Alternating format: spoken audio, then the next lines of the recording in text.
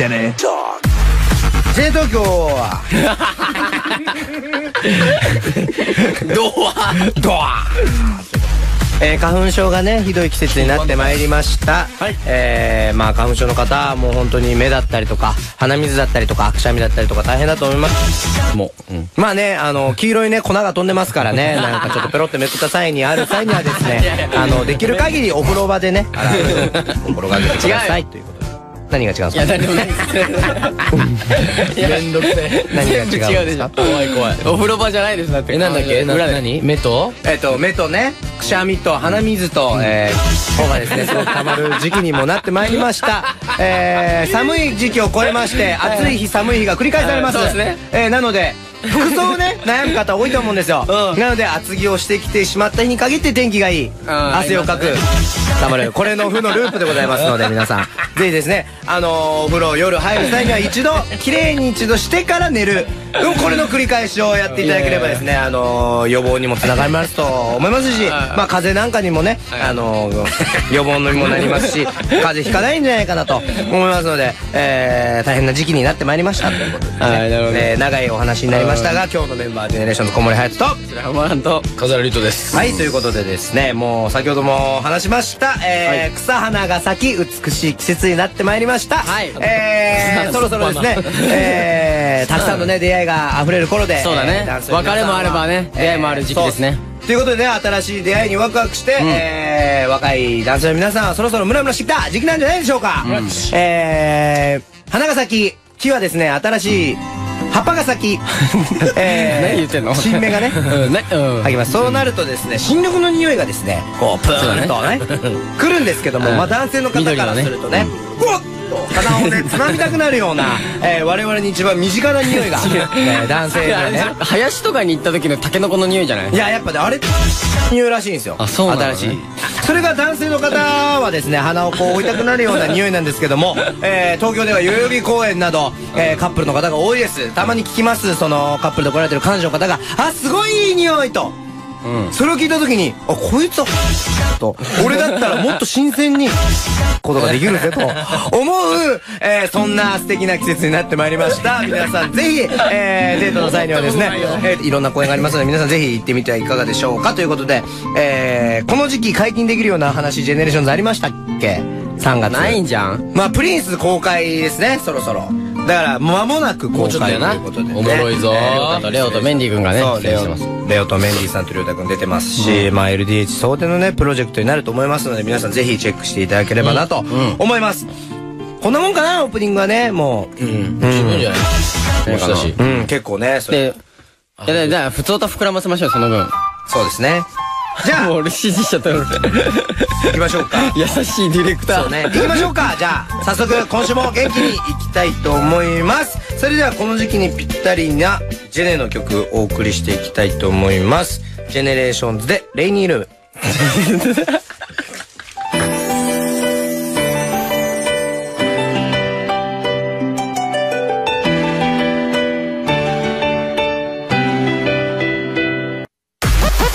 Generation. Generation. Generation Gen Talk. えー、 GENERATIONS がお送りしている GENETALK、はいはいここからはリスナーの皆さんから届いたメッセージ、読みたいをたくさん読んでいきたいなと思います。よしえーまずじゃあ読んでいっていただきましょう。リュウト君どうぞ。ラジオネーム、なーこちゃん。早速ですが、私は結婚して5年目になります。やばいな主人はご飯に対して文句がすごく多いです。人妻？まずいとかではなく、今日は揚げ物の気分じゃなかった。お昼ラーメン食べたのに家でも麺類か、などなどめちゃめちゃ嫌やな、これ。私は毎日、今日何食べたいと聞いているのですが、毎回何でもいいと言ってきます。あーなるほどねなのに、ご飯を並べると今日の気分じゃないとか言われ、また主人の気分に合ったご飯を作り直します。いやー、すごい。もういい加減にしてくれと思うのですがそれも言えずそこでジェネレーションの皆さんに質問ですが私は主人に文句を言っていいと思いますか？それとも今まで通りにすべきだと思いますか？いやーもうそれは、その、相づちがめっちゃ適当なんだよ。どうでしょう、どうでしょう？ダメか。あのー、この間ですね、あのー、現役でお医者さんやられてるはい。お笑い芸人のシュンシュンクリニック P さんっていう方がですね、えーラジオで来たんですけど、あのー、まあ、正直いろいろなこう病院内のお話聞いた時に、まあ、生放送ですよ。生放送で、これどうかわかんないですけど、めちゃめちゃ不倫多いですっていう話になって、でまあまあまあまあまあじゃあ聞こう、まあ病院はねそう病院内で多いよね。で聞きましょうかと言って聞くんですよ、そうした時にそのやっぱ綺麗でまあちょっとこう若い女の子よりちょっとこうおつぼねなこうちょっとまあ お年を重ねたナースとか女医さんの方が不倫されてるらしい、えだからその見た目じゃない人の方がしてるよね実は。っていうことらしくてだからやっぱりそうぜひいいと思うそういうやはり。言っていいよね普通に。じゃあ自分で作りなよみたいな。まあでもあれやろ、多分言われへんのはささあの一生懸命働いて家庭を支えてくれてるっていうのがあるから言いづらいっていうのもあるよな、それもね。まあねもうかもう山椒超入れてしびれさせるな。んかピリピリピリすんな今日みたいなでもこれでも性格悪いよなこれ。悪い。これは悪い。旦那がだって。あもっと優しい言い方にしてあげればいいのにね。いやいやらしいよな、何食べたいか聞いてるのに何でもいいって言うのに作ったら文句言うわけやから。いやそれはまずい。それはあかんわ子供や旦那が、旦那子供だねそれ。ちゃんと入ってるかチェックした方がいいねそれ。いやこれはねかわいそうですよ。うん。こればっかりはでもね相談されてもね困るんだよねこっちもまだ結婚してないからどうしたらいいハヤトじゃあ？いやもうこれはねね続きましてはい。えー、ラジオネームひーさん。えー、私は服屋でバイトをしています。前まで一緒に働いていて辞めた男性がいます。しかし最近お店に会いに来て、閉店してもまだ一緒に喋っています。そして、くすぐってきます。この時、この男性は一体何を考えているのでしょうか？かっこ、そんなに年は離れていません。私には男性の気持ちがわかりません。はい、リュウト君、この男性は何を考えているでしょうか？だけやろ。いや絶対。前まで一緒に働いてて辞めた男性がまたその店に来て、閉店してもまだ一緒に喋ってるって。絶対その怖くない？この男。うんその後を狙ってるやん、どう考えても怖い。危ない。逃げて。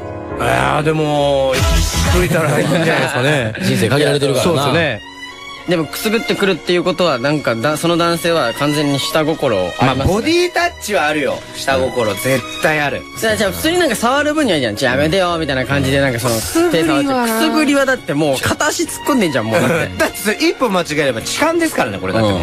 でも嫌がってはないんだよなんか。でも気をつけた方がいいそっからこういうのから何につながるかっていうのは分かんないんで、もしかしたらこっから本当にあのちょっと犯罪チックな感じになるパターンもなきにしもだからね。ストーカーみたいなね。なるかもしれない、うんね程よい距離感で。あーえっとそうですそれもうオプションの一番高いやつだもん 続きまして。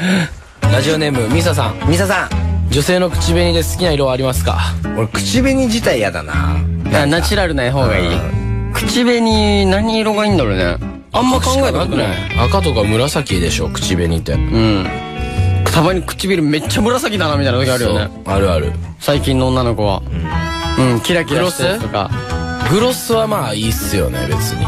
えグロスつけてる女性とチューするとね口テカテカなるんでしょううねんなる。顔にラメついたみたいになるしほんで 最悪です。グロスつけた女性とチューする気があるんですか？いや俺はない。ですよね、僕もないよ。なんでそんな嘘つくんですか？ね逆に何お前ら。ちなみに俺はない。僕もないですけどね。僕もないよ。なんでそんな嘘つくんですか何お前ら。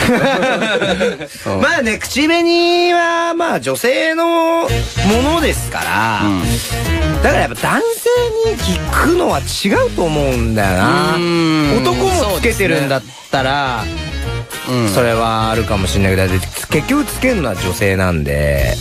そこはまあ、ね、好きな色ってあんまないわそうっすよね。だからああんまりこうてか何があるのかはあんま分かんない。てか一択これはちょっとね難しい、うん。何でも難しい。うん。興味ない。そうですね。それが一番の答えかもしれないね、次行きますか。だからどっちかというとあのパンストの色の濃さはどのぐらいがいいですかとか。ああそれぐらいが一番。デニールね。デニール数ね。俺結構濃いめ好き。俺薄いの分かる。俺薄いのやだ。江頭さんぐらい。もうあれストッキングや。レギンスやでそれ。もうもうそうね。まあそんな手で破れるぐらいがいいですよちょうど。僕はそんな経験ないですよ。僕も破った経験ないですよ。パンスト破りから。おお来ました。嘘つけ。嘘。ひなちま。ひなちまちゃん。三重やって聞いてんの。お三重県。私は友達に思ったことがあると直接伝えずインスタのサブタクのストーリーやツイッターの裏垢などで愚痴って本人の目に入るように遠回しに伝えています。自分でも直した方がいいと思ってるんですがなかなか直せません。ジェネの皆さんどうしたら直せると思いますか？何かいい考えはないですか？はもうひなちも性格悪すぎやそれは。現代病もう。じゃ現代病ですよねそうだね。直したいと思ってんねやったら直せすんなそんな汚いことをな。現代病。直接言え。もうそれに限るよ。本当に。何歳？19歳以下。あ結構パンチあるねそれは。現代病だね本当に。現代もうあかんあかんもうこんなんもうずるい人間になるだけやからこんな裏垢っていうのがねずるいよね。ずるいよ。表でいいよ。でもさちょっと待って。裏垢って定義がもう分かんないっすね。裏垢ってさ何裏垢って？芸能人が別のアカウント持つことが裏垢だと思ってたんだけど。俺もそう思う。なんかオフィシャルのものじゃないものが一般の子裏だでも裏垢持ってんすか？だからやっぱ自分が表にしているオフィシャルというものじゃないものを裏いやいやこの表に出てる人がプライベート用とかだって意味わかるんですけど。別に愚痴アカウントやこんなもん。本当になんかデートとかして、う表は楽しかったんだけど裏垢でボロクソに言ったりいやうわマジ最低やばいねそれ。裏で裏で文句言ったり悪口はちょっとやばいっすよね。ひなちもやめとけそんなもん。うん。ちゃんと直接言え。クズやぞそのままの大人になったら。そのまんまなったらね本当に本当にね。ほんまそれやぞ。い痛いぞなんつっていや痛い。いや痛そう何それ。もうそっちじゃない。え？そっちじゃないんだ。あそっち行くよ。行くよ仕事行くよ。ラジオネームヤッホーさん。やっほーや前々から前々から周りの人に言われていたのですが、人の顔を覚えることが周りよりも長けていると最近自覚しました。たけてえー、過去ラーメン屋さんで自分の前に並んでた人を1ヶ月後ショッピングモールで見たと、えー、すごいですねこれ。多分えー、ジェネの皆さんも周りより長けていると思う部分はありますか勘違い。多分たそれ勘違い。似てた人。うん。まあでもなんか。人間の脳っていうのはね本当にちゃんとねあの 解釈できるな都合がいいように解釈できるだから3になってるのよ個の点が三角形にあったら人間は顔に見えるって言いますからね。とかねあるわけ心霊写真ってそうなんですよねそうだから都合よくね人間の脳っていうのは解釈できるからそれはもう多分人を間違えてただの勘違いまあなんかある、ジェネの皆さんも周りより長けてると思う部分僕ね最近ねそれね逆の現象なんですけど結構真面目に悩んでることがあって。あ最近 こいつえぐいねでかいなーっていう話うをん。するやん。ん。いやみんながあのね 俺ねそれはマジで思う。感じなん俺は普通。日本男児相当敵増えるぞお前そんなこと言ったら。それを敵だって言うのであれば来てくださいよ。出して。むき出しで来てください。そしたら僕も出すんで。ね？いや。うん。別にそこに対してはどういうことだよ。別に全然来ていただいて 構いません。敵だとしてね。人より長けてるたけてる違いたけてるじゃあ逆なんですけどたけてるというよりか俺ほんと最近病気なんじゃないかなって結構悩んでることがあっ劣て人の名前をマジで覚えられないの。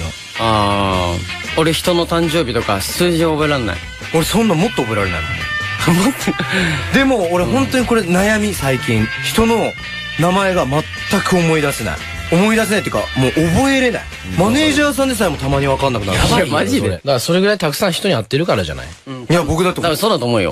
いろんなラジオとかでで会ってんだよ。あってあってあって。あってそれだったらもっと忙しいはずだもんだって いやどうなんだろうね。まあそれもじゃあ長けてない部分だね。そう俺はねそれもうたけてないと思ってるけどね俺けてるよ。だいぶ長けて やめろよ。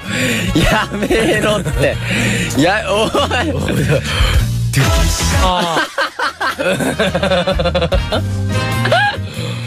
大変だよね。いやだから龍斗君長たけてる部分。けてる。たけてるって難しいよな。周りより歌うまいなとかあったんじゃないいや昔はですよ今そんな思わないですよ。どんだけ僕が狭い世界で生きてる男やったんかって痛感させられてますよ。そこで感じるってことはよっぽどですね。うでもそれぞれあるんとか。え？やっぱ自分の方が顔整ってるなみたいな。んいや思ったことないですよ僕。かけてる。たけてるって難しいよね。たけなんか面白い、まあ、こういうポイントでいいんじゃない？そのなんか人より顔を覚えるのが得意とか。あんまでも感じたことないかもな。ツッコミの速さたけてるで僕多分みんなより。マジっすめっちゃツッコむやんだって収録してる時も隼人の失敗とかすいやる突っ込みますけど龍斗君やっぱそのいやスピード感で言うと確かに速いですよ、ツッコミは。でも龍斗君って結構ピュアな部分があるんでボケって解釈するまでがちょっと人より長いです。そう。確かに。それは認める。ツッコミが速いのは認めるけど確かに。それ龍斗君ちょっと解釈するまでに、えでえかボケかってなるのが多いかも龍斗あるかも君ね。たけてる。たけてる部分ね。君ってたけてる部分なんですか？あんまないと思う。たけてる。いやたけてないでしょ。あれはもうたけてるって言っいやたいい。本当に数打ってないはずなんだけどね。うんなのに数打ってるように見えるのはもうたけてるとしか言いようがないですからね。いや本当にまあね本当まあ絶対言えないけど本当にやばいっすよね。マジで？寂しいよ。で3件本当ね。やっぱあんまこそこそするからあかんのちゃうかっていうその結論に基づいてきねなんかこうそっちになってくるのかも逃げるから追うというかさということで今から重大発表があります願いします。えー、弟が私立高校受かりました。おめでとう。すごい。めでたいめでたい相当めでたい。松山の。松山のそうやね妹もそうやなんか言ってたわ。妹さんはもう卒業されたんですか？卒業？妹ね卒業したのかな。卒業したんですかね？そういうシーズンですからね。妹だえだって何歳？な妹何歳？僕の1個下なんで今年あもう23ですね。あそろそろや。で今3月卒業シーズンですから。そろそろね。ね妹卒業？も卒業されたのかなと思って。してんちゃうか？してるんですかね。そらして前の彼とかとなんかあったんちゃう？いろいろ分からへんけど。お兄ちゃんどうなんですかそこら辺はやっ兄ちゃんいやもうそこは別にだってお前ら言うやんけ。よとそんなこと言ったことない言よ。うやんけ言わない。言わないそんなこと言わない。そんな非常識じゃないよ。そんなこと言わない。お兄ちゃんそれお兄ちゃん失格ですよ。自分の妹を。そうやってお兄ちゃん失格ですよそんなこと言うの。一番自分の妹。を一番言ってるよ彼。本当に。後で連絡しておきますねお姉ちゃん。東京いつ来るの？ってね。うんしといて。たけてる部分なんてみんなございません。みんなね自分に劣等感を感じながら頑張っているんです。ということで「ふつおた」こんな感じで終わりたいと思います。この番組ではですねメッセージ大募集しておりますねメッセージは JFN パークのアプリをダウンロードして送ってください。これまでのパソコンサイトからでも送れますのでたくさんのメッセージをお待ちしております。ということでジェネトークこの時間は「ふつおた」をご紹介いたしました。それではここでとっておきの楽曲がありますのでこちらの曲聴いてください。アラン君自己お願いします。えー、事故事故えー、ゆずで栄光の架け橋。この流れ。ぽいですよね GENERATIONS がお送りしている GENETALK。本日はここまでとなります。皆さん楽しんでいただけましたか？さてこの番組では皆さんからのメッセージを大募集しています。メッセージは JFN パークのアプリをダウンロードして送ってください。疑問質問何でも OK です。ということでここまでのお相手は GENERATIONS でした。